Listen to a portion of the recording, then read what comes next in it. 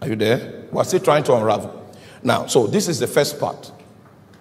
When that utterance that sounds like many waters comes into the earth, it comes in form of prophecy. But we need to also unravel why it is called the sound of many waters.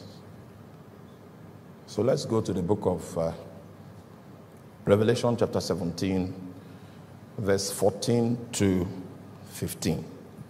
Revelation 17, 14 to 15. These shall make war with the Lamb, and the Lamb shall overcome them.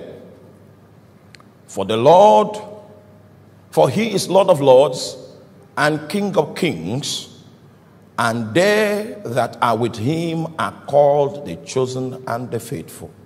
Verse 15.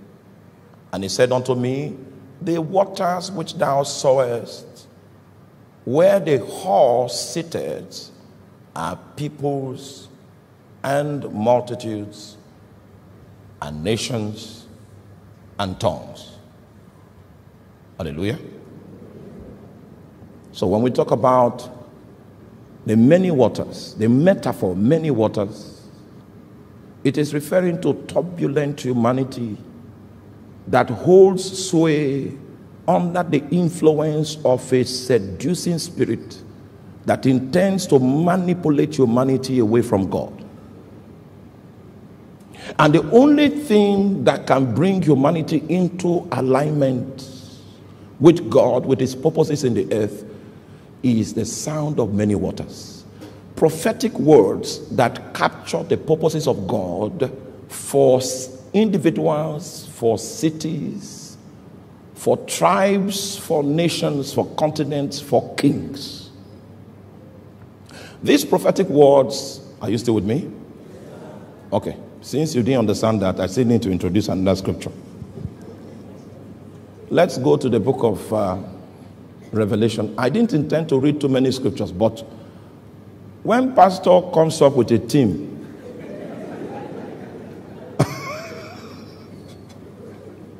Hallelujah. Revelation chapter 10. We'll do 8 to 11. Then I can, we'll now shift briefly. And the voice which I heard from heaven spake unto me again and said, Go and take the little book which is open in the hand of the angel which standeth upon the sea and upon the earth. And I went unto the angel and said unto him, Give me the little book. And he said unto me, Take it and eat it up and it shall make thy belly bitter, but it shall be in thy mouth sweet as honey. And I took the little book out of the angel's hand and ate it up, and it was in my mouth sweet as honey. And as soon as I had eaten it, my belly was bitter. Verse 11 And he said unto me, Thou must prophesy again before many peoples and nations and tongues and what? King. Thou shalt prophesy. There was, um, it will interest you to know that uh, when the prophetic word is spoken, everybody is excited. It is sweet. But when that word begins to exercise government over you so that the purpose that is carried in that word will come to pass. It can uh, be a, an extremely bitter process. You know, I, I, was, we were in a meeting and a senior man of God many years ago prophesied on me. And I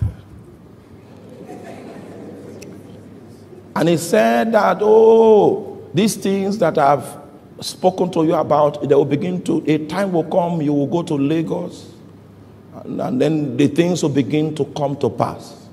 So in my office, I was posted to Lagos, which was a posting I didn't like. So I got here. My welcome to Lagos was like my, my Camry, my Toyota Camry. In those days, Camry, you don't, you don't understand what I'm talking about. My Camry was stolen. That was my welcome to, to Lagos. Uh, so I was in the oil industry. Uh, if I get my monthly salary, I can buy a car.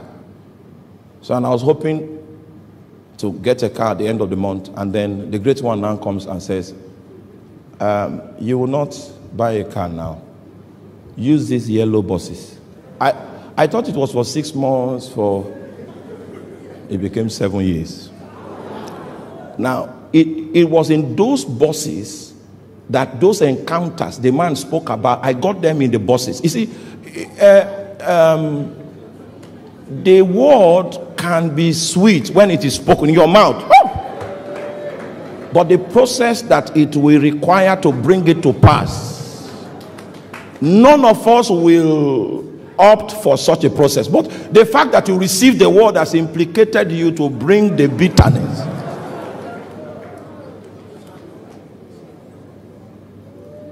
It was after he had experienced the bitterness of the scroll that he now had authority to what? Prophesy. And if you see the scope of his prophetic ministry, he, can you bring that scripture back again? Because one encounter, one, one word that he received that God was able to process in his life gave him the authority to be able to speak to peoples to speak to what? To nations. To speak to what? To tongues. That means, when last did you hear a prophecy about the Yoruba nation? Just the Yoruba nation. Now, does it mean that God doesn't have a counsel for that people group? The reason why such specific people group prophecies are lacking is because of the, our inability to tap into the frequency of the sound of many waters. Are you still with me? Now, now, now, only men that have been processed, that have gone through the bitterness of the influence of the government of the Word of God as it produces results in the lives of men, have the capacity to contain measures of God. You see, this, this is an impartation, measures of God um, that will give us that latitude to be vessels that can communicate the mind of God for nations. Now, listen, I hope you know that on the day of Pentecost, something happened. When the Holy Ghost came down, there was no need for an interpreter on the day of Pentecost. Because what was breaking out, every man could hear it in his own language. So the nations heard the counsel of God. The nations heard the voice of God in their own context, in their own language. So every facet of human endeavor the military, for instance, there is a voice of God for the military, for the members of the armed forces at, at this time. There is a voice of God for people that are in software development.